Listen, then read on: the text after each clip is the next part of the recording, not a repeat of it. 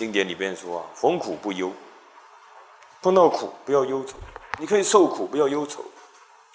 啊，你不要双重受苦，身体受苦，心灵又忧愁，卖环路，不要忧愁，没什么好忧愁的。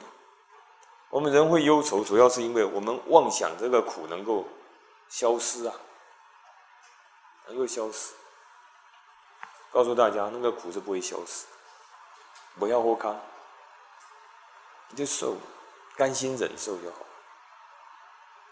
你不甘心，你就忧愁，你忧愁你就，你就后背修啊，那讲嘛，修康修修胖，修康修胖，想一出一大堆烂招出来，东弄西弄，哦，更忧愁，更苦，苦上加苦。都要业上结业，甘心忍受。什么叫娑婆土？娑婆就是忍受的意思，就是堪忍嘛。我说不会堪的灵修，告诉你咋对也堪呢？哎，我们人就是设计来受苦的，绝对受得了苦，再苦你都受得了，就是忧愁动尾掉。啊，那苦谁受不了？再苦你都受得了。我们身体就是一个受苦机器，啊，咋对也看呢？受苦，一旦接受以后就过去了，不接受在那边啊，推来推去的，还是要受啊，对不对？推来推去，跟你推得了多久？来吧，啊，该来就来吧，你不要怨恨，就接受。该受穷就受穷，该受病就受病，对，该受侮辱就受侮辱，看什么不好的受，你今天受人侮辱，一定你前世侮辱人嘛，一定是这样。今天受生病，一定是让别人生病嘛，对不对？啊，今天短命，一定是让别人短命，这个很明确的嘛，我就接受了。现实一点嘛，就 人生不会就是面对一个苦海嘛，所以叫人生苦海。对，哪个人不苦？我看在座哪个不苦？哪个不苦嘛？对不对？面对苦恼的态度问题，用心的问题，受苦不忧嘛，受苦没有关系，不要忧愁，甘心就不会忧愁的了。你刚弯就很痛苦啊，对，你刚弯是不行的。大部分痛苦来自于忧愁，对，逢苦不忧。其实大部分修道人都用生病来消业障，不会害到别人。老实讲，我们不要说，哎呀，这个人业障重，生病，你事业失败，那这害到很多人呢，对不对？害到很多人了，你车祸还害别人撞死你，还要赔钱，你自己病了呢。最最简单，连师母都是用这种方式啊。最简单的嘛，啊，生病这个消业障是最简单的，但是就是要甘愿，啊，爱甘愿，受穷也是一样，大部分人就是受穷，最怕穷，贫病交迫，对不对？最怕这个了，贫病交迫，苦有很多种了，但这边强调的是这种你躲不了的苦，躲不了的苦，会让你去找对象要报复的苦，都是你害我的。那种苦，嗯，没有别人害你，都是自己害自己。所以逢苦不忧，最重要的是受苦，当然不要忧愁，甘心忍受啊，甘心忍受。会发生什么结果我不管了，甘心忍受。如果能够做到逢苦不忧，那么这个心就看理相应，对，由行而气理，行而气理。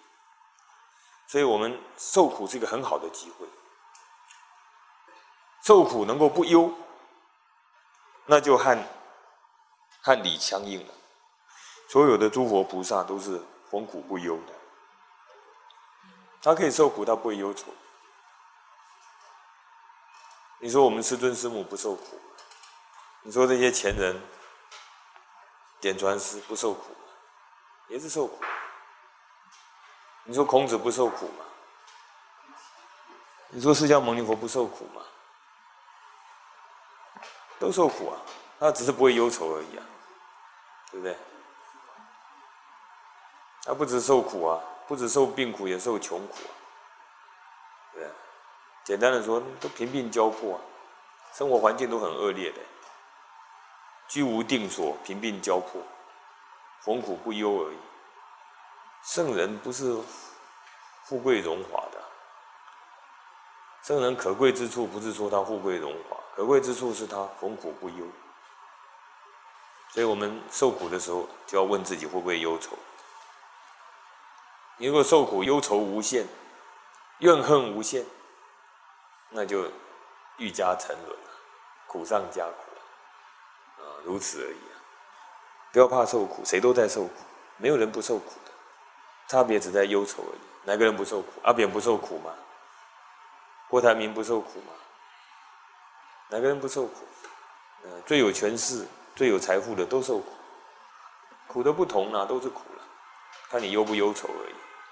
所以这个叫做报冤型，一般人都冤气冲天呐，啊，冤气冲天，乌盆记啊，冤气冲天，包大人呐，啊，给我一个公道吧，像马英九去拜包公啊，给我还我一个公道吧，冤气冲天，要去体悟这个冤，冤从何来？没有这么复杂嘛，就想自己是不是？从这辈子就可以感觉到嘛，我是不是多起冤症了？对不对？说婆土啦，来到这个世间受苦是一定的。那很简单，受苦忧不忧？为什么不忧？就是因为了解了解事实嘛。没什么好忧愁的。我们忧愁无非是说，哎呦，认为这个苦是可以避免的，认为不要有人害我就好了。就算有人去完成这个事情。但是因都不在那里，因都不在那里，啊，因都在自己。树秧恶业果熟，过去不知道什么时候造的灾殃，这个恶业的果成熟了，都在这里。所以我们修道人不是修一个不受苦，而是修一个受苦不忧，是修这个。所以孔子说：“君子固穷，小人穷斯滥矣啊。”君子不是没有穷啊，像子路问孔子啊：“君子亦有穷乎啊？君子也会混到像我们这种地步吗？” 他很不满，很不爽啊。对，我们这不是当君子的吗？混到这么困穷，连饭都没得吃。孔子说：“君子固穷啊，小人穷斯滥矣啊。”君子虽然穷，还是很坚固不动摇，有逢苦不忧，还是固守正道啊。要体冤尽道，受苦可以消业障的，甘愿接受很快就消了，不甘愿就越搞越大，滚雪球越搞越大，不甘愿就会起嗔恨心一开始造业都是贪心造的业，等你受果的时候，你你忘记了，所以最好是现世报，现世报你还记得？我们很讨厌听到说现世报，对，事实上现世报是好事啊。那你起码还记得嘛，对不对？这辈子杀人，啊，后来又被人家杀的啊，这这个自己认了。你这辈子就没杀过人，最后被人家杀了，你就很不甘愿了，是不是？这就怨恨了，变厉鬼啊，啊，要来报复。所以一开始都是贪心，啊，嫉妒心，到最后呢，等到受报的时候，因为不记得了。所以就起嗔恨心，元气冲天。最容易想的就是我什么都没做啊，我很好啊，为什么我要受这个？就像马英九说的，我一辈子奉公守法，为什么变成贪污犯？不要怪别人，会变贪污犯必 有原因的，你一定起码上辈子冤枉过别人，跑不了的。像我刚进入道场的时候，就有一位。位文前人叫文道宏文前人的，他归空以后啊，那文前人修行非常的好，也是抛家舍业到台湾来开荒。然后那时候我追随的那位游前人哦，有点事，他就拿那个文前人结缘训给我看。这文前人他就是，他结缘训上面就讲到他的姻缘。啊他就是前世不知道在哪个朝代当官啊，然后冤杀了一个人，就是人家没有罪，可是可是你把他判死刑，啊，要冤杀了一个人。当官有时候很容易做这种事情，啊，因为证据不利的证据，有时候被人家栽赃的都很难讲的，啊，冤杀一个人，这辈子虽然修道，到了晚年的时候呢，哎，那个冤欠上门来。整天纠缠不休，纠缠不休。但后来他做错了一件事情，他在碧潭跳水自杀，前人哦，他是想说我还你嘛，他太痛苦了，说我还你了就跳下水了，跳下水就回不去，怎么可以自杀？当前人自杀，做那么坏的示范，然后他就他又回不去啊。回不去就就就就上了那个谁的身？我们刚才讲这位有钱人，有钱人的女儿的身。他的女儿现在清修，还在南四角那边管理那个道场。上了他的身，那个那个女儿还是小孩子嘛，上那个身说他碰到状况了，要请这个有钱人去找我们周老前人帮忙解决。就周老前人就去跟师母禀告，师母那时候还在的，师母说回去吧。一句话，他又回去了，就解决了。啊，解决以后就来结缘，封道洪大仙，他还是大仙封道洪大仙，他就叫文道弘，他的法号就叫道洪大仙。这个很明显，前人呢修的多好，冤现现前，他是不应该说跳水自杀，这绝对是不应该。他就是错在忧愁了，担忧了。做错一步，啊，幸好师母慈悲啊，回去吧，啊，一句话。所以后来这个有钱人就跟着我们周老前人，啊，就这个缘故，啊，所以这个真的是不是你看得到的啦？那想得出他上辈子做大官，然后冤判了一个人，